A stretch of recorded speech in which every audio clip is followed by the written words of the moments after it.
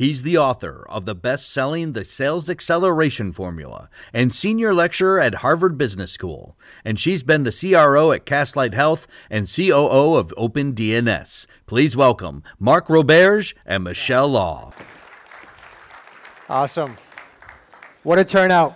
Thanks for coming out.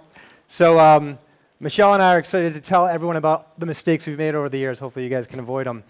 Um, I called her two weeks ago and I said, let's make a list of the 10 mistakes that we've made separately and compare notes.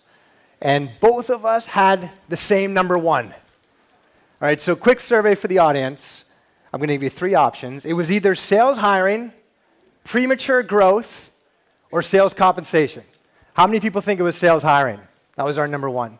How many people think it was premature growth? How many people think it was sales compensation? I think we got you. It was number two, premature growth. All right, so um, we're going to actually hit all three today, but we're going to start with premature growth. So, Michele, why don't you take us away? Why was that our number one? Yeah, that was our number one. I think one of the things that I've seen um, and I've actually experienced um, is a, a, relatively classic mistake, and that's, you know, I think it's less so today, um, but it's I still see it happening. Um, and that's when you're going into growth mode too quickly, um, which seems funny because the whole point of a, grow- a, startup is to go into growth. What I mean by that is, I'll use an example. Uh, there's a company that I'm very familiar with. Um, it's a great set of founders.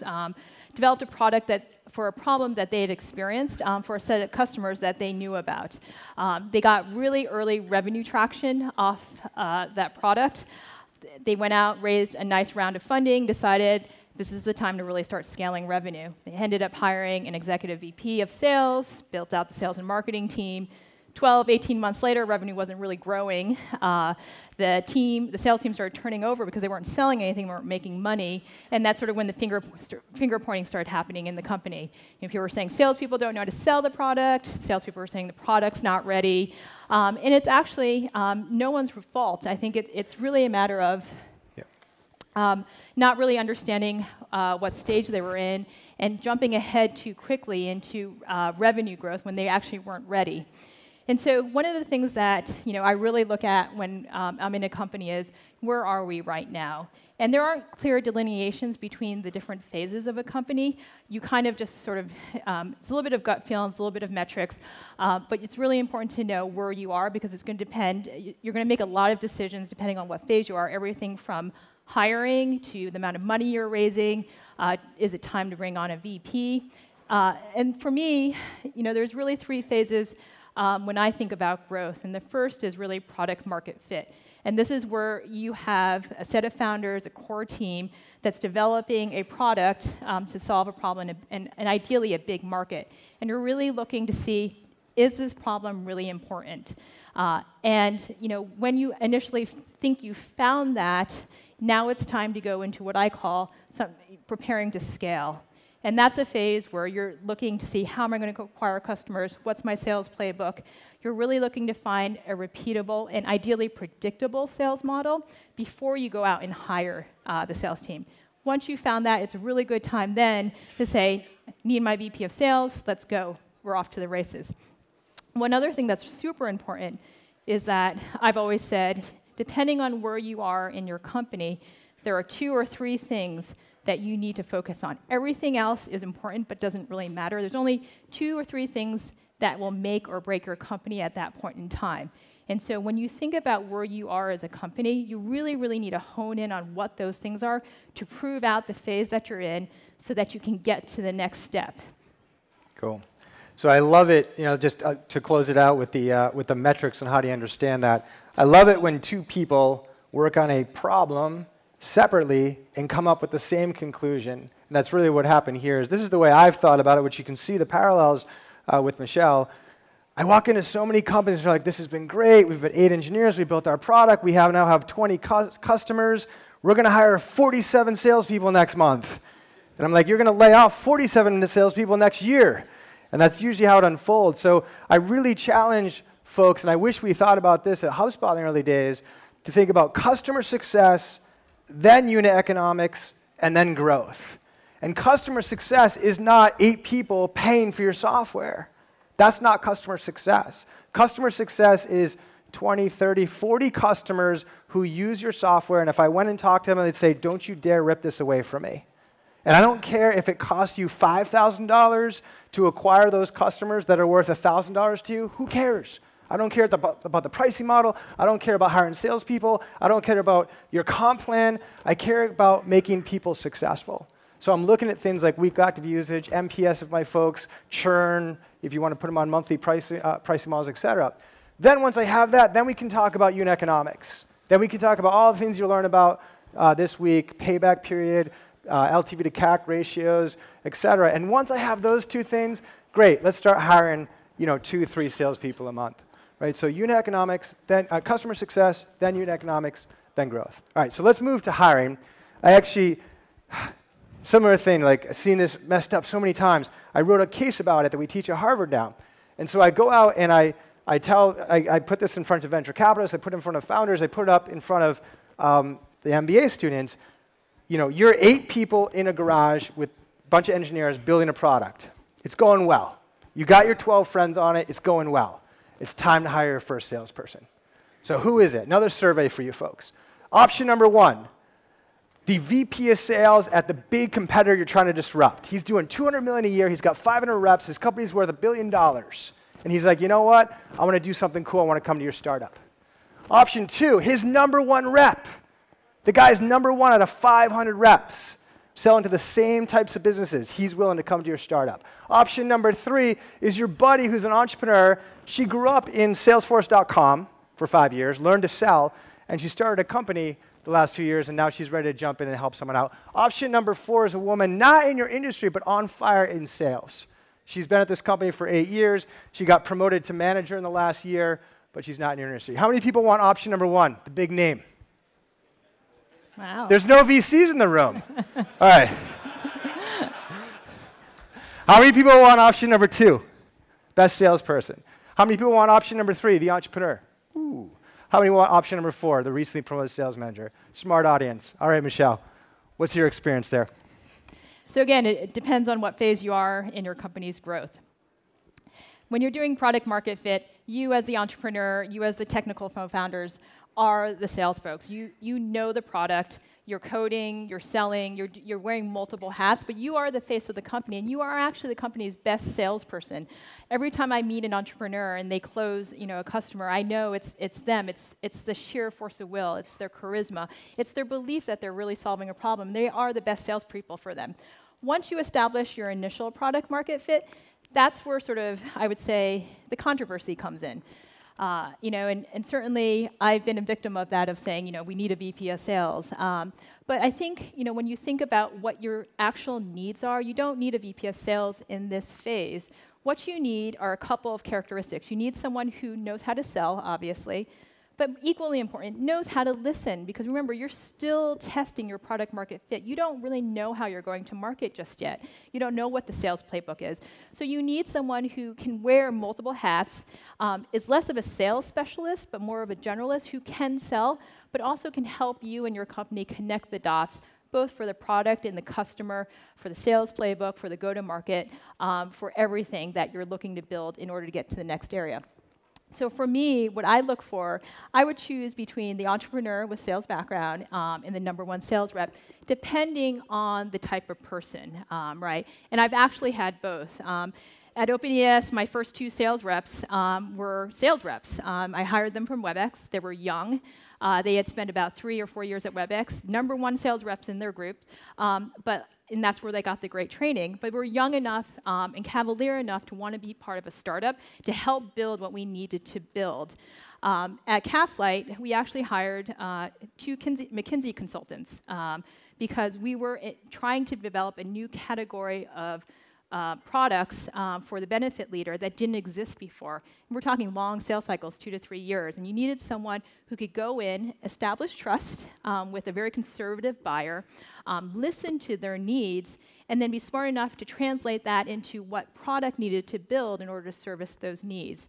Um, and so I've had both, and I think it really depends on the type of solution. If you're in an existing market with a better mousetrap, you know, I probably tend to go with the sales reps. If you're in a brand new um, category, category and you're really doing some missionary sales, that's the time when you need to start thinking out of the box and you need someone who is more co- a consultative sell and who can both sell but also um, be that great listener and, and be sort of that um, uh, guiding light for your product development team. Cool. Yeah, I think Michele was in a little bit of an advantage there in hiring that second option, the salesperson, because she had sales experience, right? I think when you're two engineering based founders bringing in that first salesperson, geez, that guy showed up at Oracle or Salesforce, wherever it was. He went through a month of training, how to handle the top 20 objections. Yes. That process is not built. Yes. And if you don't have the background in sales, he's going to do 50 calls and be like, it's not working. Yeah, no, that's definitely true. I think if it, if I weren't there, um, the model and, and just sort of the initial call script, um, the initial approach, the initial deck, um, they would be on their own, and I'm not sure that they would have been able to do that themselves.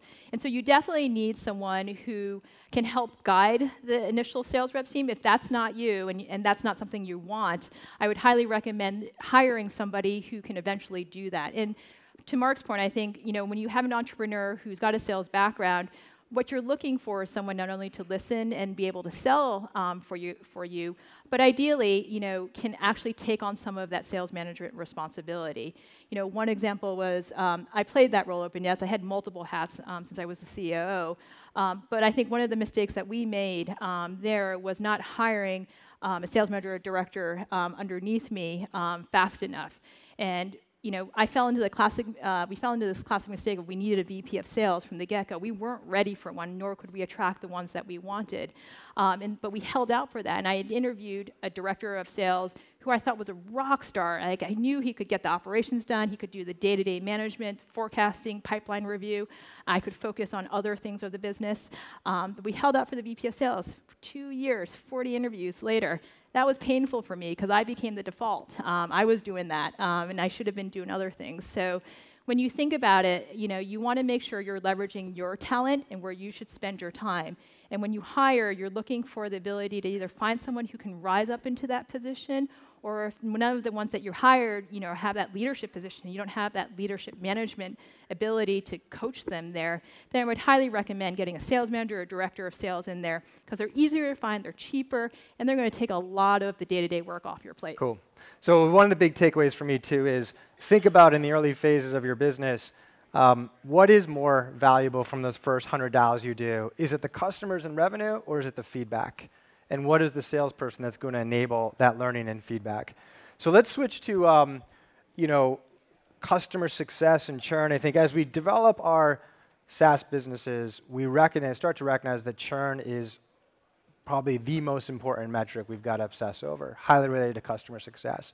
So let me tell you about how we totally screwed that up at HubSpot in the early days and how we used the comp plan to address it. So this was the comp plan. So if I take you back to the summer of 2007, there were eight people at the company. I had two salespeople. We were doing a couple hundred thousand in revenue.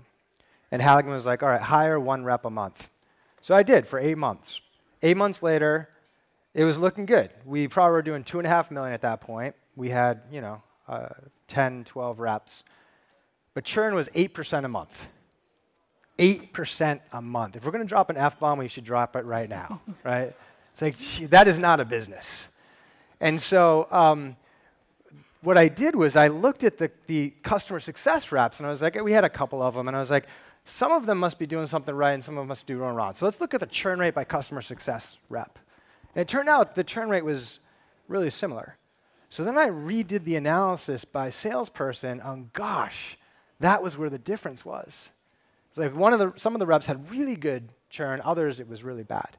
And so let's look at the comp plan. At the time, I paid the reps $500 per customer. We kept it super simple. It was like you, there's only one product that's 250 bucks a month, right? So we paid them 500 bucks a customer. We had an accelerator, so when you got over your quota, we paid you twice as much. Each customer was a thousand, and they better stick around for four months, otherwise you're going to take your commission back.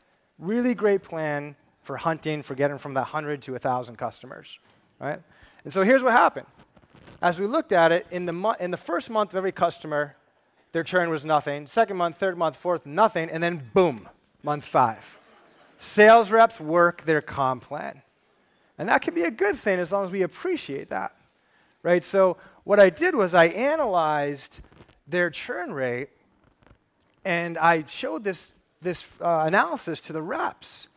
And you can see down the bottom, the green, that was the average number of customers they brought in per month. So the number one person there uh, from an LTV standpoint was 10.8, the first person, and their churn was 1.6. Okay, so if you do the lifetime value analysis on that, of what they were bringing in per month, that's on the y-axis, it was a little under 180,000 that she was bringing in every month. Now, these folks down here, they were actually outselling that rep from the legacy ways we look at sales efficiency.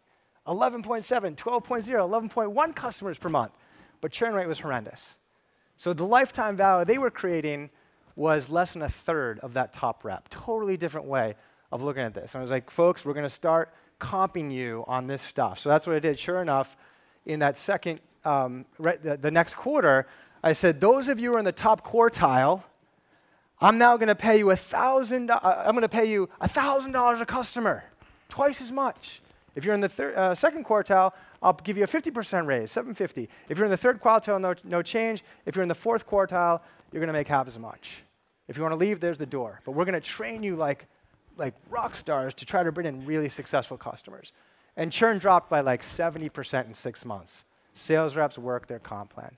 Now, it got to the point where um, the churn that was happening after that was for things outside of the control of the salesperson. The product was bu- buggy here and there, like a company went out of business.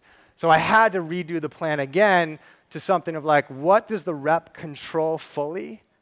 100% in their control that is aligned with churn. And for our business, it happened to be payment, payment period, right? So I put together a plan that comped them based on, um, you know, getting annual contracts up front which help people be, to be committed to inbound marketing. We didn't have a very low time and effort to value type value prop. These folks need to be committed, committed up front. So for our context, it worked really well. Now, should I have just jumped to the 2012 plan? I don't know. I think we needed a bolder plan than that. But regardless, you know, my, my takeaway here is just, uh, you want, want to close it out here, Michele, for? The sales compensation is a powerful vehicle to drive customer success. Your, your comp plan, no kidding, folks, like your comp plan salespeople are smart. They, they will analyze their comp plan. They know exactly how to make money. And so it's your job to ensure that the comp plan is aligned with what you're trying to drive for the business. And if you put it out there and it's fair, I think you know you will see success um, both for the business and, and both for, the, for your sales reps. Cool. So I, I wrote a couple articles about this. One's in uh, Harvard Business Review if you want to check that out. These, uh, this deck is up on my uh, Twitter feed uh, like five minutes ago. All right, let's close it out on uh, org structure. Right, so now I'm going to forward fast the clock another two years, and uh, we had uh, probably 250 people at the company, and we got large enough that you, you, a lot of you are probably at that stage. You know, you, you start ending up on two floors. It starts to be like a kind of a big company. And we organize ourselves like most organizations. You know, we had those are the marketing people over there, and back there is the whole sales team, and there's our customer success team over there. And as we grew to this stage, I found that the definition of an ideal customer was changing depending on the group that you were in. Like the marketing team, like, oh yeah, the people we love to sell to, they're the people that are easy to get to fill out a landing page, right? The salespeople are like, oh yeah, the people that are best for us are the folks that it's easy to get their credit card. And the customer success folks were like, oh yeah, it's the people who can we can make really successful in our product. Right? Now, obviously, the customer success folks were most right, but how are we going to create this alignment in this new world of SaaS where you know, there's, there's a really, there needs to be a really nice handoff from demand gen to sales to customer success? Right? So, what we essentially did was um, reorganize the company by our buyer persona. So we destroyed the marketing team, sales team, services team seating, and sat people by small businesses, mid market, and enterprise. And within those groups, we had representation from marketing, we had a couple dozen salespeople, we had half a dozen or customer success folks, right? And they all were marching to the, the same order that we as a company were marching to for our business. Right? So it was no longer like, oh, churn's blowing up, it must be the leads or it must be expectation setting. It's like, no, you have everything right there amongst you folks. And there was relationships between the salespeople and the customer success folks. They grabbed beers together. And the last thing that salesperson was going to do was arm twist some really bad customer into the business to hand it off to their friend to have fun with. And their friend in customer success saw their buddy struggling all quarter to get to their number. And it was the last hour of the quarter. And they knew that this customer may or may not be a good fit, but they jumped on the phone with their sales friend and said, you know what, we can make this work. So they felt each other's pain. Right? And we were able to, we destroyed that kind of marketing meeting, sales meeting, customer success meeting, and we started having small business meetings and mid-market meetings and enterprise meetings. And we measured each one of those groups in the same way the board measured us. It wasn't just about, you know, leads from the marketing team and revenue from the sales team and churn from the customer success team, because this was a cohesive unit. Each one of these teams were responsible for their own unit economics and churn. We were able to pass the education of how a SaaS business works down to our mid level managers, which is really critical for that next wave of growth. Right? So, the point there that I'd love to take away is churn customer success is so important to our businesses. You know, are we really doing ourselves justice by organizing ourselves by function, or are we better off organize ourselves by our buyers? Okay? So those are our four critical mistakes. Um, I think uh, we're going to be around a little bit after for questions. I'll actually be on one of the stages in a half an hour or so for an Ask Me Anything. Hopefully, uh, you can avoid these mistakes going forward. Thanks so much for your time.